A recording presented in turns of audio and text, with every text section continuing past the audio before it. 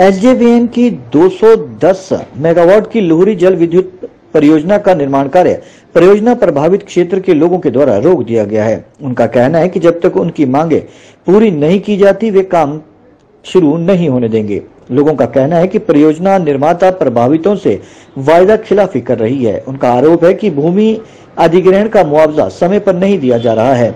रोज़गार में भी भेदभाव हो रहा है। प्रभावितों को रोज़गार देने की बजाय बाहरी लोगों को यहाँ रखा जा रहा है। परियोजना निर्माण कार्य के दौरान विस्फोटक अधिक प्रयोग किए जा रहे हैं, जिससे उनके मकानों में भी दरारें आ रही हैं। इसलिए निर्माण कार्य रोका गया है।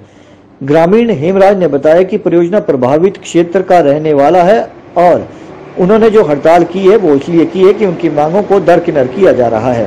परियोजना निर्माण क्षेत्र के आसपास रहने वाले लोगों को भारी ब्लास्ट का खतरा हो गया है। उन्होंने बताया कि कई परेशानियाँ परियोजना निर्माण से हुई है। मुख्य रूप से पाँच समस्याएँ लेकर यहाँ लोग पहुँचे हैं। प्रदूषण से उनकी फ़सलें भी प्रभावित हो रही हैं, जिसका मुआवजा मिलना चाहिए। ओम प्रकाश ने कहा कि निरथ में पाँच हज़ार वर्ष पूर्व का बना सूर्य नारायण का मंदिर को हैवी ब्लास्टिंग से नुकसान पहुँचा है और परियोजना के लोगों के कारण, इस क्षेत्र के लोगों के साथ साथ उनके घरों को भी खतरा हो रहा है। उन्होंने कहा कि ब्लास्ट के चलते ऊपर से पहाड़ियाँ दरक रही हैं। उन्होंने प्रशासन से मांग की कि निर्माण स्थल का वे दौरा करें और स्थिति का जायजा लें। दरारें भी आ गई है। और इसके साथ साथ जो इन्होंने हमारे साथ वादे किए थे कि हमारा एक तो जो सन टेंपल नीरत में है कि इसको हम, इसकी जो जीर्ण जीर्णोद्वार करेंगे, इसका पूरा ध्यान रखा जाएगा। उस पर कोई अमल नहीं किया जा रहा है। और उसके बाद इन्होंने जो हमारे साथ शर्त रखी कि भी पूरी पंचायत को जो है हम पोल्यूशन का देंगे। अब जब हम इनके पास जाते तो ये बोलते हैं कि 900 मीटर के दायरे में ही आपको पोल्यूशन का जो पोल्यूशन का मिलेगा। हम कहते हैं कि जब आपने पहले एनओसी ली थी, तब तो आपने ये बात नहीं कही थी। ज़ीरो के अंदर है ज़ीरो के अंदर। तेरह मीटर का डिस्टेंस के अंदर एक नोड़ा गाँव है और रात को हम परिवार नहीं सो सकते जब ये ब्लास्ट करते हैं। तो हमने प्रोजेक्ट से जो पीछे भी कहा था कि पहले तो ये दस बारह जो घर है, इनको कोई सुरक्षित जगह मिले। ठीक है जी? उसके बाद नोड़े गाँव में जो पात्र लोग हैं, जिसके घर में नौकरी पेशा है, चलो हम नहीं कहते भाई उसको भी, उसके दादे को भी जोड़ दो, ऐसा कुछ नहीं है। वैसे तो जुड़ जाना चाहिए, क्योंकि टाइम रोज नहीं आते।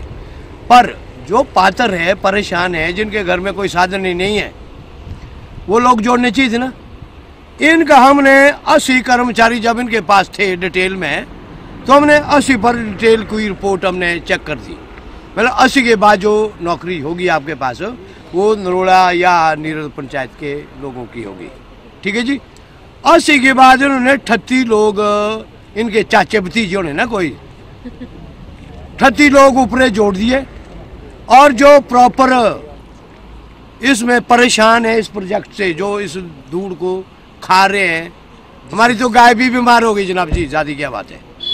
ओम प्रकाश चौहान मैं पूर्व वाइस प्रधान ग्राम पंचायत नीरत जब ये प्रोजेक्ट की पहली कार्रवाई शुरू हुई तो तब हम भी पंचायत में थे।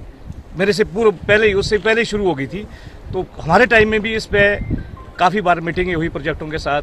सारे मुद्दे जितने भी अभी इन बघेट साहब ने सुनाए या प्रधान जी ने सुनाए, उन सारे मुद्दों पे हमने इनसे पूरी चर्चा की। लिखित में दिया कि बेरोजगारी भी हम यहाँ के पहले लोगों को रोज़गार देंगे पोल्यूशन को पूरी पंचायत को लेंगे और आज वो पोल्यूशन भी 900 मीटर में ही सिमट गया और रोज़गार आज जो है चंद लोग यहाँ के हैं, बाकी अदर डिस्ट्रिक्ट और अदर पंचायतों के हैं, जो इफेक्टेड में है, उनका बहुत कम लोग हैं या जो रोज़गार में हैं।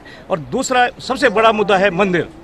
हमारा जो नीरत गाँव जो जाना जाता है, वो सूर्य भगवान के नाम से ही ये पूरे नॉर्थ इंडिया के अंदर दूसरा मंदिर है जो यहाँ हमारे नीरत में है। इसके जीर्णोद्वार के लिए हमने सबसे पहली मांग है हमारी इसकी, जिसकी वजह से हमारा अस्तित्व है। वहीं परियोजना प्रमुख आर एल नेगी ने लोगों से अपील करते हुए कहा कि परियोजना निर्माण कार्य को न रोका जाए, इससे राष्ट्र को नुकसान होगा। उन्होंने बताया कि भूमि का मुआवजा सरकार की ओर से औपचारिकताएँ पूरी होने के बाद जल्द ही दे दिया जाएगा और उसके बाद रोज़गार का मुद्दा भी हल कर दिया जाएगा। मैं जहाँ तक समझता हूँ, सरकारी काम में बाधा डालना, ये हम सब के लिए उचित नहीं है और इलाके के विकास के लिए भी ये उचित नहीं है। मैं सभी जन साथियों से, पंचायत प्रतिनिधियों से रिक्वेस्ट करूँगा कि विकास का काम ना रोके। काम होना चाहिए और बातचीत ही समाधान है।